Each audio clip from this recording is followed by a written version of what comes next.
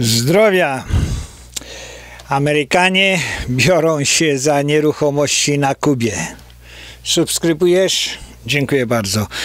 No może nie tyle za nieruchomości, no ale za jednak za, za to, co zostało zabrane przez komunistów yy, w styczniu, 1 stycznia będzie 61 lat, kiedy Castro, rewolucjonista, czerwona świnia, yy, obalił Batystę. 1959 rok, Castro, yy, komunista, socjalista, zdenerwowany no, reżimem Batysty doszedł do wniosku, że, że trzeba go obalić. Mm, no i 8, 8 stycznia wszedł, wszedł do Hawany. 61 lat przeminęło, no ale jednak dużo, dużo ludzi, Kubańczyków wyemigrowało do Ameryki. No i teraz jest drugie i trzecie pokolenie Kubańczyków. Kuba zaczyna się otwierać na na świat, na turystykę i, i, i tak dalej. No i wygląda na to, że będą tam mieli, będą tam mieli okrągły stół i czerwone świnie y, sprywatyzują sobie wszystko i z y, komisarzy i mm, towarzyszy partyjnych zostaną prawdopodobnie y, biznesmenami. Także telewizja będzie rozkradziona, gazety chyba wyborczą zrobią, myślę. Przypuszczalnie tam partia komunistyczna na pewno ma jakieś pieniądze y, związkowe, no to też po sprywatyzowaniu komunistycznej partii Kuby wymienią to na, na ruble, a ruble na dolary, to też, też gdzieś to zniknie czy zostanie sprywatyzowane, no będzie, będzie dokładnie to samo, co było w Polsce. No i teraz, teraz właśnie mm, mieszkańcy, mm, Amerykanie nawet którzy byli naturalizowani, zaczynają y, sięgać po swoje, tak? Zaczynają sięgać po swoje. Y, Castro y, wtedy Dużo ludzi go popierało. Dużo ludzi popierało, bo nienawidzili Batysty, myśleli o demokracji, myśleli o jakimś mm, swobodnej myśli, o swobodzie wypowiedzi i tak dalej, i tak. No tak, tak jak i y, Polacy po II wojnie światowej też y, myśleli, że, że, że będzie lepiej, no ale to jednak był sowiecki styl. Y, Castro i jego y, zamordyści, wszystkie te czerwone świnie od 60 lat już trzymają powiedzmy rękę na tym y, tyle przeżywają, no bo tam nie ma mrozu, tak? W klimatach, gdzie nie ma mrozu, no to to wszystko odbywa się inaczej. Ludzie pracują trochę powolniej, wszystko jest maniana, czyli jutro y, samo, samo urośnie, jak jest woda wilgotno i, i, i deszcz, no to ludzie z głodu tam nie umierają. Na Kubę, na Kubę wysyłają potężne ilości pieniędzy i jedzenia, te, te rodziny, które wyjechały i obsiadły Miami.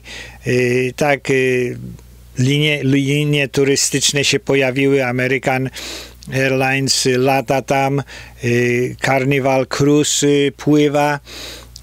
No jest, jest dużo, dużo rzeczy, gdzie gdzie restrykcje czy jakieś embarga y, nie działają. W marcu 1996 roku Clinton podpisał mm, prawo takie, kubańska wolność i, solidarność, prawo demokratycznej solidarności właśnie dotycząca y, mm, tego embarga i pewnych, pewnych zastrzeżeń.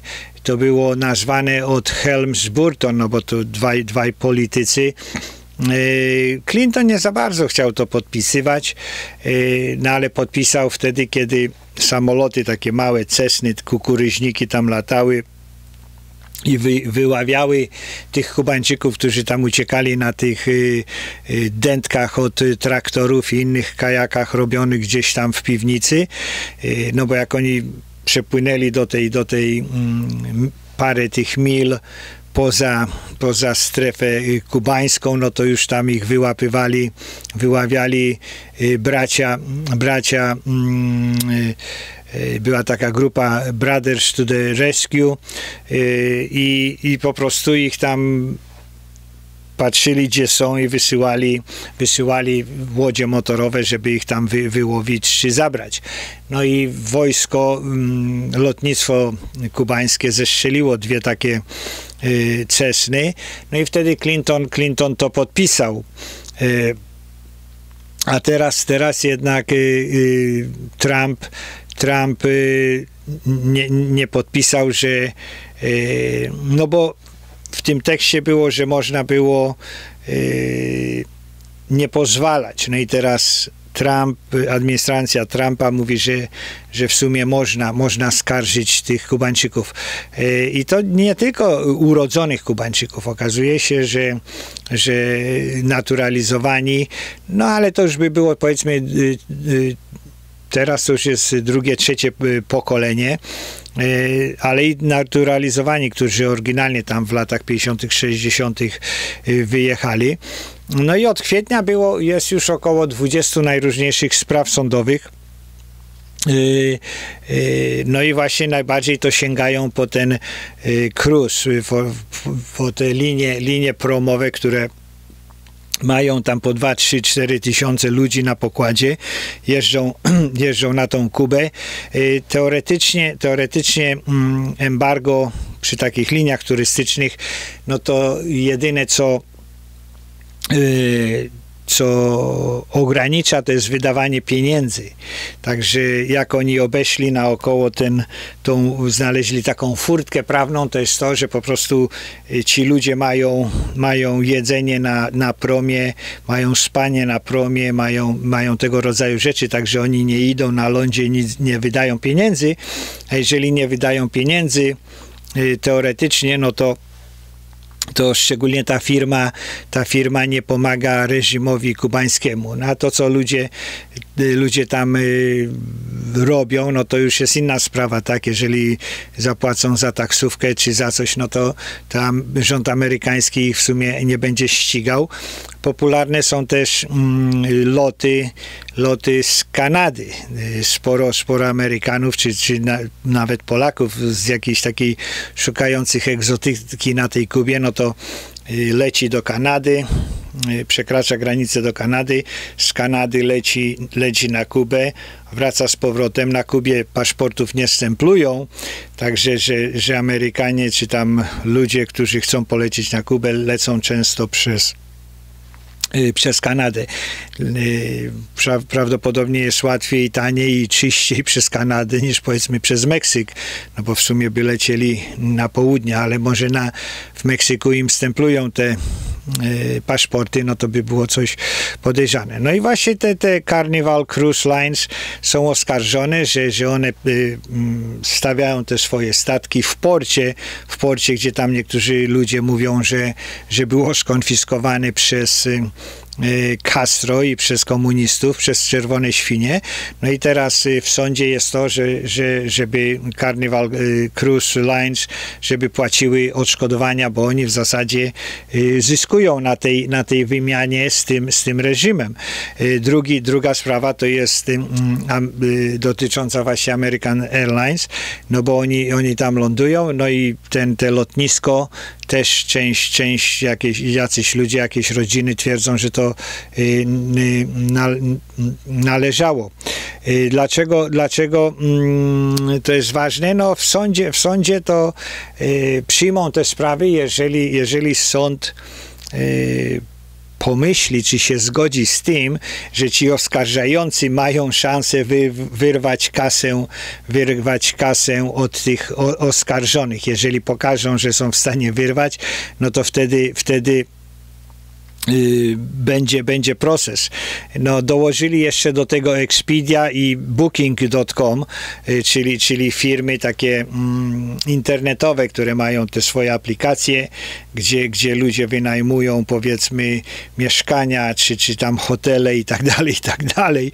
No i tłumaczą, część ludzi tłumaczy, że, że sporo tych, tych y, mieszkań wynajmowanych, czy tych hoteli, w których ludzie mieszkają, poprzez y, mm, zapisywanie czy wynajmowanie przez te kompanie internetowe, no to oni zyskują pieniądze na w ich nieruchomościach, które oni się nie zgodzili, żeby były y, wynajmowane.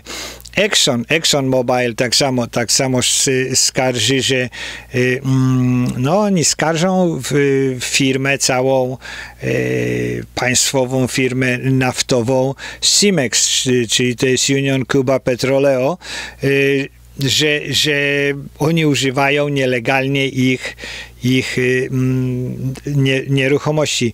Kuba oczywiście tłumaczy się i mówi, że to jest jednak suwerenność kraju i, mm, i tego nic nie zrobią. No tak, także tutaj, tutaj to jest coś, co y, przypuszczalnie Polacy będą musieli się gimnastykować i i też tłumaczyć na temat suwerenności swojego kraju. No i troszeczkę w Polsce jest chyba bardziej prosta sprawa, no bo jeżeli są y, jakieś, jakieś żądania od organizacji bez y, bezspadkowych, no to to jest y, co innego niż, niż w wypadku y, Kuby. Expedia, Expedia i Bookings właśnie y, ogólnie rzecz biorąc, to, to, to mówią, że nie, nie, nie poczuwają się do, do niczego, no bo mają zezwolenia, tak samo jak tak samo jak mm, Carnival, Carnival twierdzi, że ma zezwolenie od Departamentu, od Ministerstwa Skarbu i tak samo ma, y, no ma wszystkie, ma wszystkie swoje zezwolenia. American Airlines y, tłumaczy to samo, że jest autoryzowany przez mm, y, Ministerstwo Transportu, Ministerstwo Skarbu, no wszystkie ministerstwa, również Ministerstwo mm, Spraw Zagranicznych no i ten akt Burton, Burton Helms y, to wy, wyłącza, wyłącza w zasadzie y, sprawy turystyczne z, z, tego, z tego embarga. Także sprawa jest skomplikowana, no ale, ale jednak się ciągnie. To są ciężkie, powiedzmy, miliony. No i to jest prawda, że, że to Obama, Obama Y, jego administracja, czerwony Obama, on po prostu kochał socjalistów, y, kochał, kochał do tej pory przypuszczalnie kocha Wenezuelę, ko, kocha Kubę, kocha komunistów to on, on właśnie pozwolił, pozwolił yy, rozegrać te, te, te zezwolenia z tych Carnival y, Cruise czy American Airline, żeby, żeby oni mogli mm, pracować czy działać na, na, na, na Kubie. Y, czy, czy ludzie dostaną pieniądze? No, przypuszczalnie, przypuszczalnie zaczną dos, dostawać, no ale ja myślę, ja myślę że, że właśnie jest ten ruch wśród Kubańczyków, że, że będą chcieli y, o, o, no, otrzymywać z powrotem to, co komuniści im zabrali. I, i, i w sumie to jest, to jest ważne, no bo, bo jeżeli, jeżeli michniki i inne olejniki i, i, i najróżniejsze czerwone świnie, które poprzejmowały tyle y, spraw w Polsce po sprywatyzowaniu, y, Wedlowi, Wedlowi dali y, milion dolarów, powiedzmy, jak sprzedali do Pepsi, no i to jedynie za używanie imienia, a nie za wszystkie te fabryki, no to, no to mi się wydaje, że, że coś w tym jest. Coś w tym jest. Jest inna różnica niż 447, no ale jednak y, kradzież przez czerwone świnie, no to jest poważna sprawa, no i powinna mieć jakieś tam konsekwencje. Zdrowia! Subskrybujesz? Dziękuję bardzo. Nie subskrybujesz? Też dziękuję bardzo serdecznie. Zapraszam. Tu jest guziczek, dzwoneczek, dzień, dzień o codziennych powiadomieniach i do następnego codziennego filmiku.